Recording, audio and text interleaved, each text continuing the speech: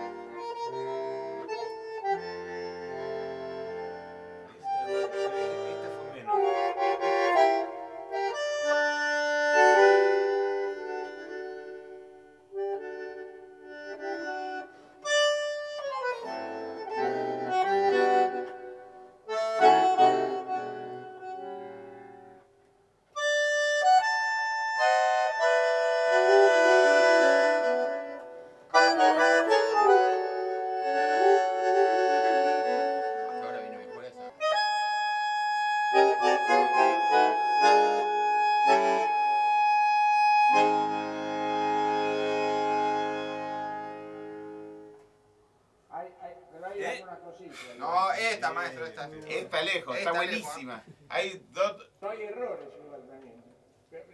Cantámelo vos ahí que ya lo oíste.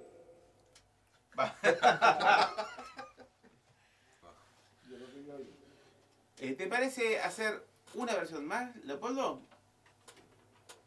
Y después trabajamos sobre o esta o la que venga ahora. Bueno, finalmente Leopoldo está grabando su disco para dejar un registro actual de este, de este monstruo del bandoneón y del tango. Leopoldo, con eh, total lógica, nos dijo que no, por lo menos seis veces.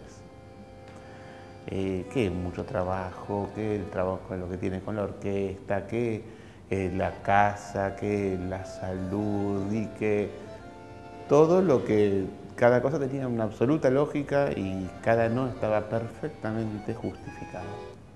Cuando termina la reunión, le digo a Leopoldo, bueno, ¿te parece que empezamos el 20 de septiembre?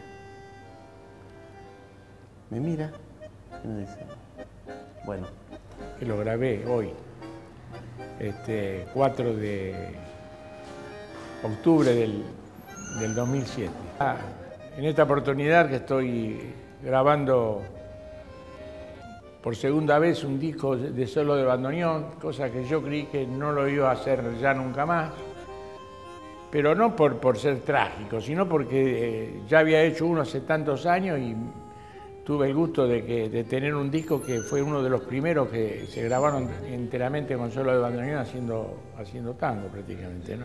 Y es, y es- Exactamente. Sí, señor. Fíjate, me- que la escuche. Escuchamos.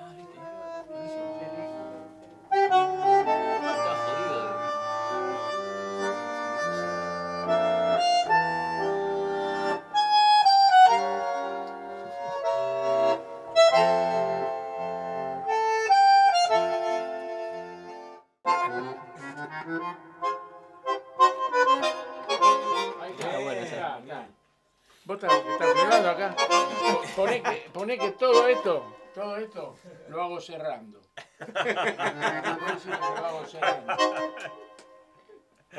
Si lo algún bandoneón, que vos me viste que yo lo toqué cerrando. Yo en un momento de, de- de la grabación este, hice un chiste en, en un pasaje de, del tango Maipo, creo que de- en el final hay una pequeña variación y como vi que estaban, cameraban detrás mío filmando, le dije avisarle a la gente que eso lo hice todo cerrando. En realidad, de repente va a haber alguno que sí lo hace y, entonces voy a pasar un papelón yo. Pero es muy difícil, el instrumento, eh, el bandoneón es muy imperfecto en ese sentido y cuando hay cosas de técnica este, que no están pensadas para tocarla cerrando, por ejemplo, y uno quiere tocar cerrando lo que está escrito prácticamente para tocar abriendo, se hace muy difícil. Y cuando le hice el chiste, miré la parte y me imaginé que yo la tenía que tocar cerrando y cambié de conversación porque la verdad que fue un chiste que hasta a mí no me gustó. Cuando usted quiera, maestro, ¿eh? Eh,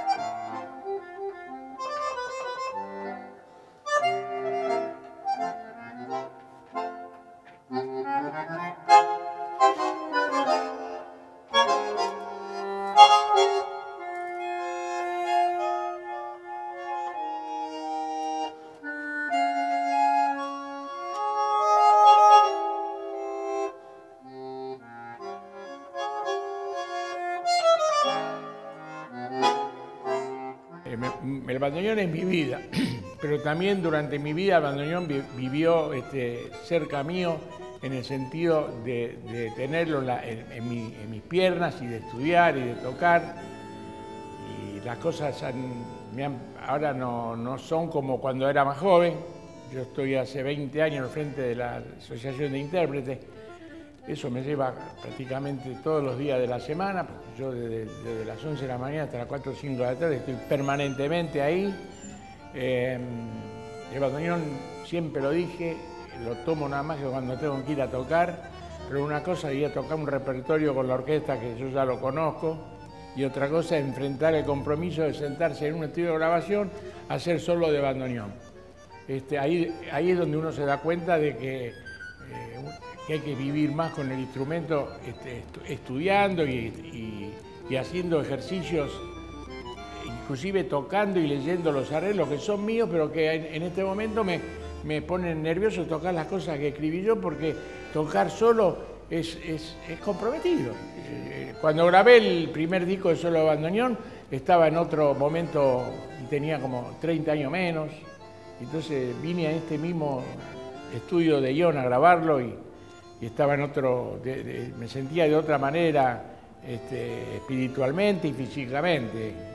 Pero ahora tengo 80 años y las pequeñas nanas que tenía en esa época se fueron, se fueron agrandando y cuando uno está sentado frente al micrófono es donde se da cuenta de, de las cosas que se necesitan para poder estar tranquilo. Tienen que grabar. Bien, Leopoldo. Por Dios y la Virgen querida.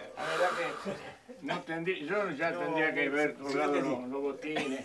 ¿Cómo? No, pero no es, no es que me manden de inmodesto, yo me, yo me siento que no tengo la, No, pero hay una la diferencia seguridad de la antes, una ¿viste? No, la no- tercera. no tocar, ¿viste? Acordate que no grabo más yo si vos no tocás, ¿eh? no, no, No. me dejes en banda, ¿eh? no me dejes en banda. No, pero hoy acabo de hacer la- el, el sexto tema de, de este, de este disco y dentro de todo eh, salió bastante bien, pero no, no, no es que lo diga por humildad, que, pero, pero me hubiera gustado tener más tiempo eh, para poder eh, venir más tranquilo a grabar, pero acá son amigos, eh, el portugués da Silva y Acedo, que son como de mi familia, y el mismo Margulles, que, están ahí en el control y si, si tengo que repetir algo mil veces lo repito, no hay problema, acá no hay problema de horario, de sala, de nada. y- pero yo tampoco quiero llegar a tener que necesitar repetir mil veces una cosa porque entonces me voy a sentir frustrado.